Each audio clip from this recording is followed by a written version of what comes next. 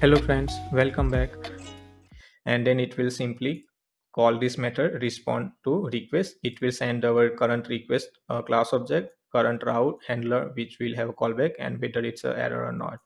And then in this method you can see the rest request before a callback. So if you want to filter the response before executing any REST API callbacks that you can do it here. And if it's not uh, uh, uh like the filter filter response is not an WP error class and if it's not empty then it will uh, the permission callback is not empty then it will simply check and it will simply call that uh, method and then check whether the permission has been there or not. And then um, return that uh, filtered output okay? Else it will go through the uh, default callback which uh, callback function which is uh, registered.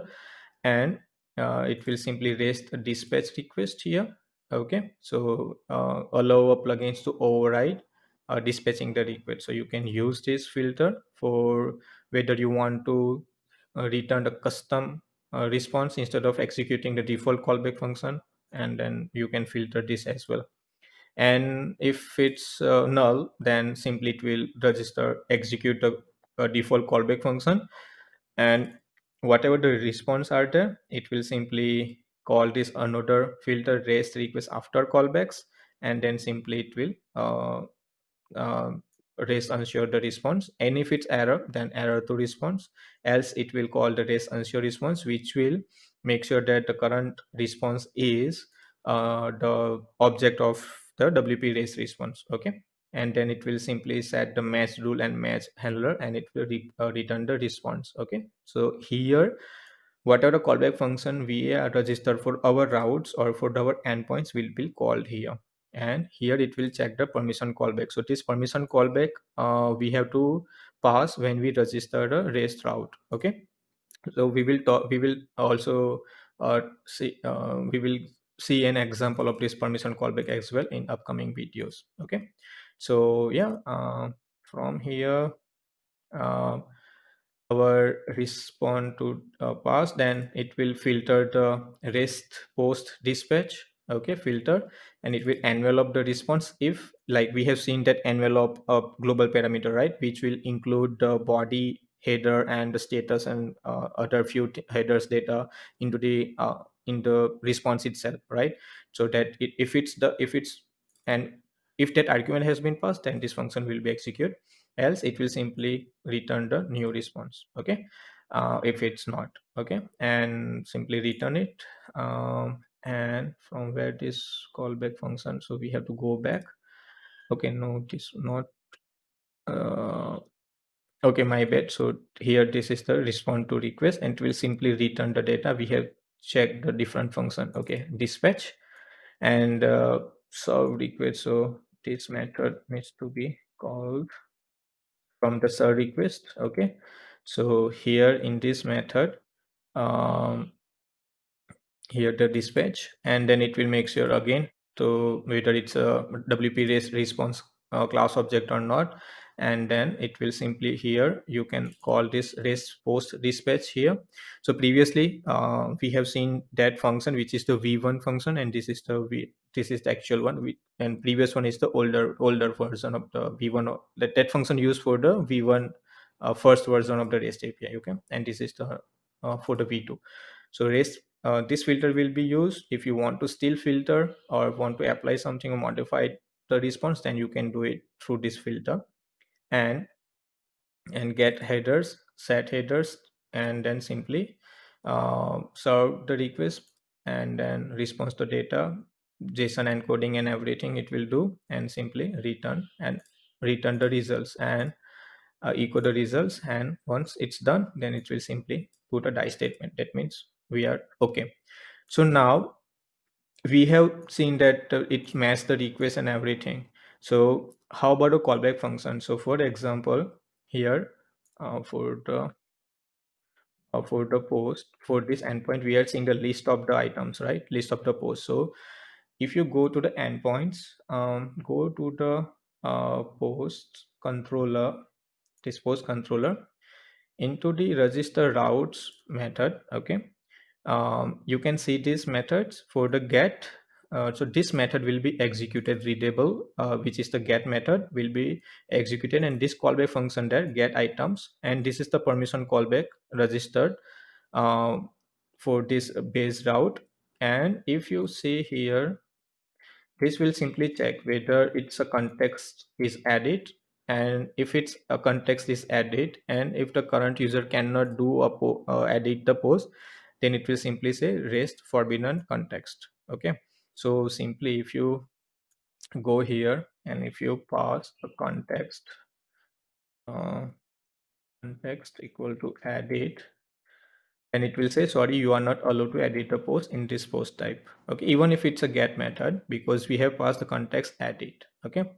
And if it's not then it will simply return a true. That means uh, we uh, the user can read the uh, uh read the response or the, have access to that REST API request and uh, this get items method because this is the callback function which will return the response of that REST API request.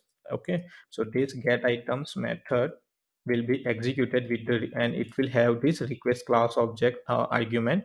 And it will check whether have order by and all the informations uh, to which is which can be passed to the wp query. Okay?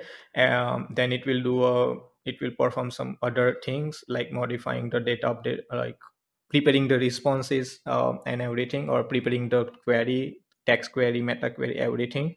And then it will also uh, call this filter apply this filter REST post query REST page query REST attachment query. So you can use this dynamic filter based on the post type to change or to filter the wp query arguments. Okay so another filter we came to know okay so this filter you can use okay? And um, then the wp query will be uh, class will be created object will be created perform the query.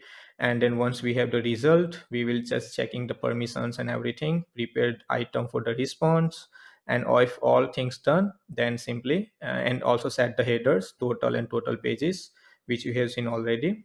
And then simply return the response. So in this response is the class of the uh, wp rest uh, wp sorry rest uh, response class okay? And we have used this rest ensure uh, response here.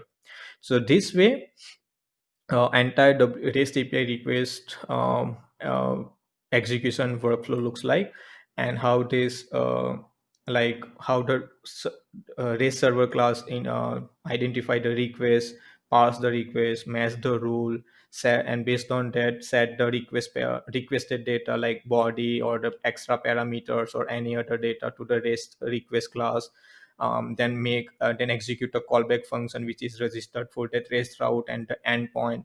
And that callback function will also check the permission whether that permission do have or not a user do have permission or not and then simply it will perform the like prepare the response fetching the data and everything based on that REST API request and it will simply return the REST response class object with the all the response and that will be uh, response will be done sent to the user.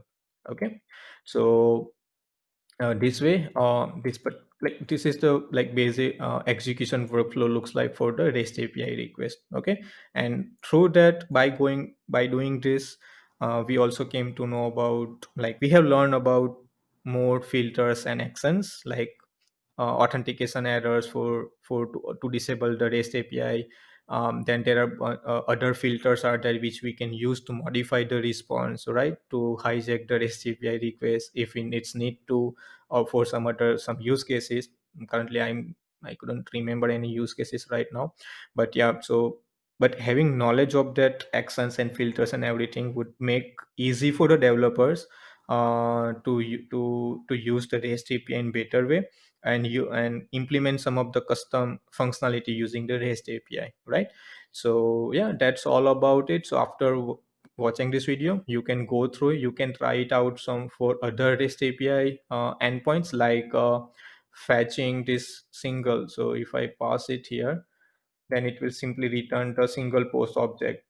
Then how this looks like, how this execution workflow looks like. You can also try it out some other REST API routes and endpoints, the default endpoint for terms, taxonomies. Um, there are other users, post types, post statuses, and everything. Okay, so yeah, uh, that's all about uh, uh, REST API uh, endpoint classes and the execution workflow.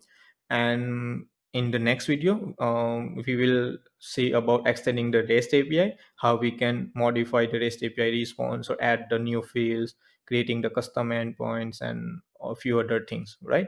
So yeah, uh, till then you can go through that uh, WordPress code base and try to understand how things working. Okay, and you will uh, you will know all the filters and actions and you may have some use cases where you can use that one okay so yeah um that's all about it. Um, yeah see you on the next one. Thank you. Bye bye jai wordpress